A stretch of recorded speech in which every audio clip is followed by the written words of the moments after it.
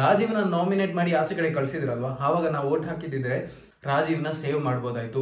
ತುಂಬಾ ಜನ ಅನ್ಕೊಂಡಿರೋದು ಏನು ಅಂತಂದ್ರೆ ರಾಜು ಸೀಕ್ರೆಟ್ ರೂಮ್ ಒಳಗಿದ್ದಾನೆ, ರಾಜೀವ್ ಸೀಕ್ರೆಟ್ ರೂಮ್ ಒಳಗಿದ್ದಾನೆ, ಇನ್ನ ಸೀಕ್ರೆಟ್ ರೂಮ್ ಒಳಗಡೆ ಇದ್ದಾನೆ. ಅವನು ಅವನು ಸ್ವಲ್ಪ ಸ್ವಲ್ಪ ದಿನ ಆದ್ಮೇಲೆ ಒಳಗೆ ಎಂಟ್ರಿ ಕೊಡ್ತಾನೆ ಅಂತಾನೆ ಯೋಚನೆ ಮಾಡ್ತಿರ್ತಾರೆ ಯಾಕಂದ್ರೆ ಅವನು ಒಂದು ದೊಡ್ಡ ಪ್ಲೇಯರ್ ಅವ್ನು ಚೆನ್ನಾಗಿ ಆಡ್ತಿದ್ದಾನೆ. ಅವ್ನ ಕ್ಯಾಪ್ಟನ್ಸಿ ಟಾಸ್ಕ್ ಎಲ್ಲಾನು ಹೆಂಗ್ ಆಡಿದಾನೆ ಅಂತ ನಿಮಗೆ ಗೊತ್ತಾಗಿರ್ಬೇಕು. ಇವಾಗ ಅವನು ಫೈನಲಿಸ್ಟ್ ಆಗಿ ಒನ್ ಆಫ್ ದ ಫೈನಲಿಸ್ಟ್ ಆಗಿ ಇರ್ತಾನೆ ಅಂತ ಎಲ್ರಿಗೂ ಅನಿಸ್ತಿತ್ತು. ಆದ್ರೆ ಇವಾಗ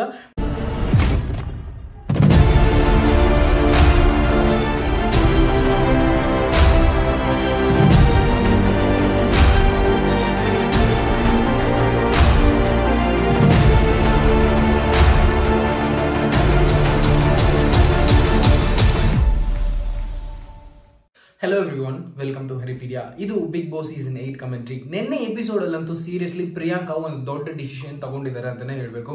ಆ ಡಿಸಿಷನ್ ಅವ್ರು ಸ್ಟ್ಯಾಂಡ್ ಆನ್ ಆದ್ರಲ್ಲ ಅದಕ್ಕೆ ನಿಜವಾಗ್ಲೂ ಒಂದು ಹ್ಯಾಟ್ಸ್ ಆಫ್ ಅಂತ ಹೇಳ್ಬೇಕು, ಇಲ್ಲ ಕ್ಲಾಪ್ಸ್ ಅಂತ ಹೇಳ್ಬೇಕು, ಏನ್ ಮಾಡೋದಂತ ಗೊತ್ತಾಗ್ತಿಲ್ಲ.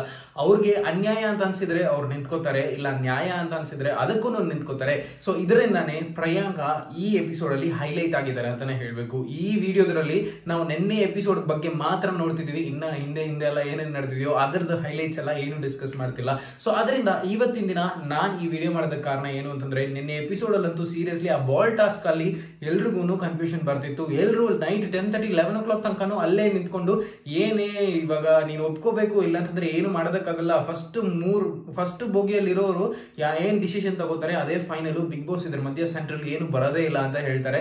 ಆದ್ರೂ ಕೂಡ ಪ್ರಿಯಾಂಕಾ ಕಾಯ್ತಾನೆ ಇರ್ತಾಳೆ. ಬಿಗ್ ಬಾಸ್ ರಿಯಾಕ್ಷನ್ಗೋಸ್ಕರ ಬಿಗ್ ಬಾಸ್ ವಾಯ್ಸ್ಗೋಸ್ಕರ ಆದ್ರೆ ಬರತ್ತಾ ಅಂತ ಕೇಳಿದ್ರೆ ಬರೋದೇ ಇಲ್ಲ. ಬಿಗ್ ಬಾಸ್ ಆಲ್ರೆಡಿ ಹೇಳಿದ್ದಾರೆ, ಈ ಫಸ್ಟ್ ಬೋಗಿಯಲ್ಲಿ ಇರೋ ಮೂರು ಜನ ಡಿಸಿಷನ್ ತಗೊಂಡ್ರೆ ಅದೇನೇ ಫೈನಲ್ ಅಂತ. ಮಂಜು ಮಾತ್ರ ನಿಜ ಅವ್ರು ಮಾತಾಡ್ತಾರೆ ಮಾತಾಡ್ತಾರೆ. ಅವ್ರಿಗೆ ಕನ್ವಿನ್ಸ್ ಮಾಡೋದಕ್ಕೆ ಟ್ರೈ ಮಾಡ್ತಾರೆ, ಆದ್ರೆ ಕನ್ವಿನ್ಸೇ ಆಗೋದಿಲ್ಲ. ಸೊ ಇದನ್ನೆಲ್ಲ ನೋಟ್ ಮಾಡ್ಕೊಂಡಿದ್ದು ಚಕ್ರವರ್ತಿ ಅವ್ರ ಪಕ್ಕದಲ್ಲೇನೆ ಹೋಗಿ ಕೂತ್ಕೊಂಡು, ಅಮ್ಮ, ಇಲ್ಲಮ್ಮ, ಈ ತರಮ್ಮ ಆ ತರಮ್ಮ ಅಂತ ಹೇಳ್ತಿದ್ರು. ಬಟ್ ಇವಾಗ ಅದನ್ನೆಲ್ಲ ಅಂಡರ್ಸ್ಟ್ಯಾಂಡ್ ಮಾಡ್ಕೊಂಡು ನೋಡಿದ್ರು ಕೂಡ ಚಕ್ರವರ್ತಿ ಪ್ರಿಯಾಂಕಾ ಹತ್ರ ಇದೇನೇ ಸ್ಟ್ರಾಂಗ್ ಡಿಸಿಷನ್ ಹಿಂಗೇನೆ ತಗೋಬೇಕು ಅಂತ ಹೇಳ್ತಾರೆ. ಪ್ರಶಾಂತ್ ಹತ್ರ ಹೋಗ್ಬಿಟ್ಟು, ನೀನು ಕೂಡ ಇದೇ ತರ ಡಿಸಿಷನ್ ತಗೋಬೇಕಾಯ್ತು. ಏನಕ್ಕೆ ನೀನ್ ಬಂದು ಕೂತ್ಕೊಂಡೆ? ಸೆಕೆಂಡ್ ಬುಗಿಯಲ್ಲಿ ಕೂತ್ಕೊಂಡಿದ್ದು ತಪ್ಪಲ್ವಾ? ನೀನು ನಿಮ್ ಡಿಸಿಷನ್ ಮೇಲೆ ಸ್ಟ್ಯಾಂಡ್ ಆಗ್ಬೇಕು ಅಂತಾನೆ ಅವ್ರು ಹೇಳ್ತಿರ್ತಾರೆ. ಇದ್- ಇದು ಅವ್ರ ಹತ್ರ ಒಂಥರ ಹೇಳಿದ್ರು ಇಲ್ಲಿ ಮಂಜು ಹತ್ರ ಹೋಗಿ ಒಂಥರ ಮಾತಾಡೋದು ಇದೆಲ್ಲಾನು ಅಬ್ಸರ್ವ್ ಮಾಡಿದ್ದಾನೆ ಶಮಂತ.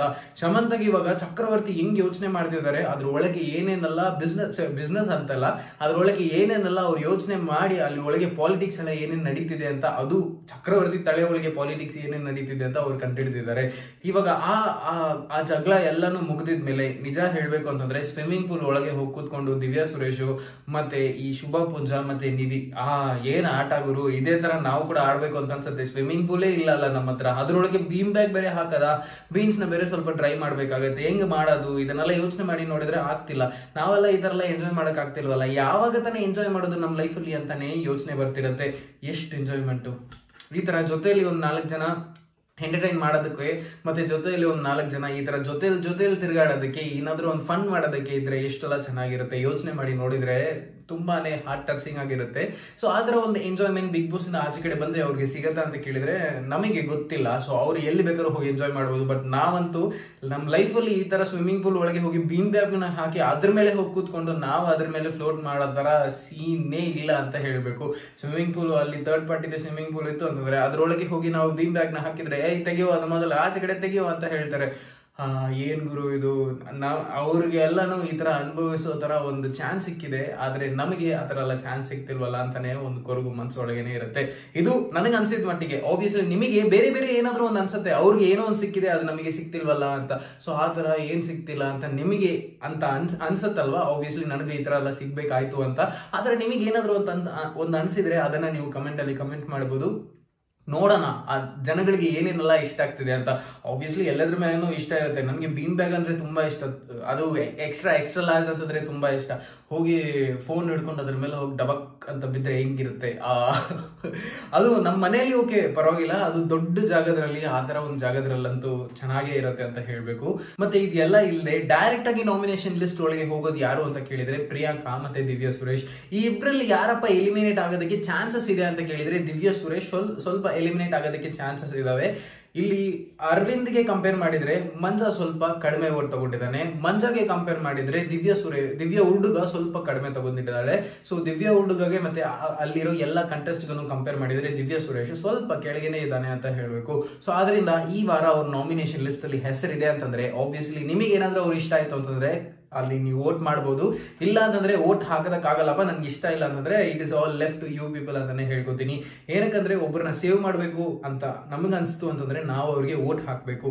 ರಾಜೀವ್ನ ನಾಮಿನೇಟ್ ಮಾಡಿ ಆಚೆ ಕಡೆ ಕಳ್ಸಿದ್ರಲ್ವಾ? ಆವಾಗ ನಾವು ವೋಟ್ ಹಾಕಿದ್ದಿದ್ರೆ ರಾಜೀವ್ನ ಸೇವ್ ಮಾಡ್ಬೋದಾಯ್ತು. ತುಂಬಾ ಜನ ಅನ್ಕೊಂಡಿರೋದು ಏನು ಅಂತಂದ್ರೆ, ರಾಜು ಸೀಕ್ರೆಟ್ ರೂಮ್ ಒಳಗಿದ್ದಾನೆ ರಾಜೀವ್ ಸೀಕ್ರೆಟ್ ರೂಮ್ ಒಳಗಿದ್ದಾನೆ, ಇನ್ನ ಸೀಕ್ರೆಟ್ ರೂಮ್ ಒಳಗೇನೆ ಇದ್ದಾನೆ. ಅವನು ಅವನು ಸ್ವಲ್ಪ ಸ್ವಲ್ಪ ದಿನ ಆದ್ಮೇಲೆ ಒಳಗೆ ಎಂಟ್ರಿ ಕೊಡ್ತಾನೆ ಅಂತಾನೆ ಯೋಚನೆ ಮಾಡ್ತಿರ್ತಾರೆ ಯಾಕಂದ್ರೆ ಅವನು ಒಂದು ದೊಡ್ಡ ಪ್ಲೇಯರ್ ಅವ್ನು ಚೆನ್ನಾಗಿ ಆಡ್ತಿದ್ದಾನೆ. ಅವ್ನು ಕ್ಯಾಪ್ಟನ್ಸಿ ಟಾಸ್ಕ್ ಎಲ್ಲಾನು ಹೆಂಗ್ ಆಡಿದಾನೆ ಅಂತ ನಿಮಗೆ ಗೊತ್ತಾಗಿರ್ಬೇಕು. ಇವಾಗ ಅವನು ಫೈನಲಿಸ್ಟ್ ಆಗಿ ಒನ್ ಆಫ್ ದ ಫೈನಲಿಸ್ಟ್ ಆಗಿ ಇರ್ತಾನೆ ಅಂತ ಎಲ್ರಿಗೂ ಅನಿಸ್ತಿತ್ತು. ಆದ್ರೆ ಇವಾಗ ಫೈನಲಿಸ್ಟು ಇಲ್ಲ, ಏನೂ ಇಲ್ಲ ಎವಿಕ್ಟ್ ಆಗಿ ಆಚೆ ಕಡೆ ಹೋಗಿದ್ದಾರೆ ಅಂತಂದ್ರೆ, ಅದು ಅನ್ಕೊಂಡು ಕೂಡ ನೋಡದೇ ಇರೋ ಒಂದು ವಿಷಯ. ಸೊ ಹಂಗಂದ್ರೆ ನೀವು ಸೇವ್ ಮಾಡಬೇಕು ಅಂತಂದ್ರೆ ನೀವು ವೋಟ್ ಹಾಕಬೇಕು ಅಂತಾನೆ ತಿಳ್ಕೊಳ್ಳಿ. ಸೊ ಇದನ್ನ ನಾನು ಏನಕ್ಕೆ ಹೇಳ್ತಿದ್ದೆ ಅಂತಂದ್ರೆ ಸ್ವಲ್ಪ ಜನ ನೆಗ್ಲೆಕ್ಟ್ ಮಾಡ್ತಾರೆ. ಯಾವ ಯಾವ ಯಾವ ಅಂತ.